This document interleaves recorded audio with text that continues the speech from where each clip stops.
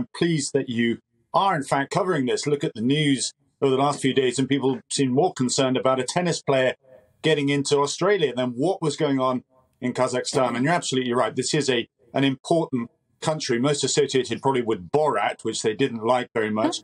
But it is huge. It's not only got huge gas and oil reserves, it's also got a lot of rare earth minerals too. When I visited the country uh, a few years ago as foreign minister, I came back and my takeaway was this was like going to the Gulf in the 1930s. This was an opportunity for Britain to invest, to double the size of our embassy, to help with their trade, to help with their education, to help with their democratic processes, as they themselves were exploring uh, avenues to move away from being that satellite state as they were under the Soviet Union. And what we saw in the president there, Nazarbayev, is now he stepped down uh, a couple of years ago. Uh, Tokayev has come in instead, but very much it's Nazarbayev that still runs uh, the roost there. You can only run any country for so long using fear alone. It wasn't the gas prices just, it was actually the fact that this was a repressed regime, not listening to the, the people themselves who were calling for change. The change didn't come with the change of presidency. And the change is now, rather than actually recognizing and, and uh, embracing the need for change today, what have the presidents done? They've called in help from Russia, which is absolutely the wrong call.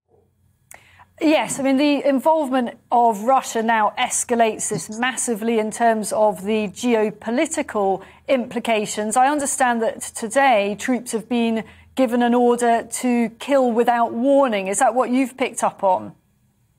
Yes, it is. I mean, this is typical playbook out of the autocrats, uh, you know, way to respond to uh, events such as this. Firstly, labeling those demonstrators as terrorists. That gives an excuse for the police to operate within them. Plainclothes police looking for the leaders, then actually taking them out, dragging them onto buses, closing down social media so that nobody can communicate. And then on top of that, call in, you know, the big boys the, from, from Russia itself. And Russia will be very, very concerned about this. I think spooked, in fact, is probably the, the right word uh, in the Kremlin right now. They didn't want this. Uh, they certainly were looking and focusing on potentially invading eastern Ukraine, which is another big story that we've not given justice to.